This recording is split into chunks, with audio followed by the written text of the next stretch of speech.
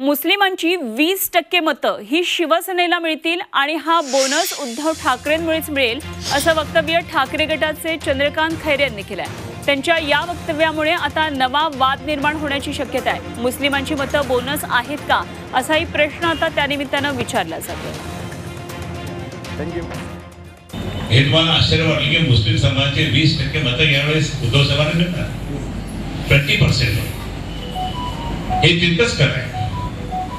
ते आपले बोनस आहे.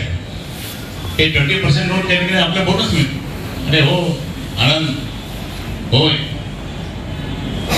वीस टक्के मतं बोनस आहे आपले. पण आपले जे ओरिजिनल हक्काचे लोक आहेत ते घ्यावे लागतात. मराठ्यांची तळपती तलवार म्हणजे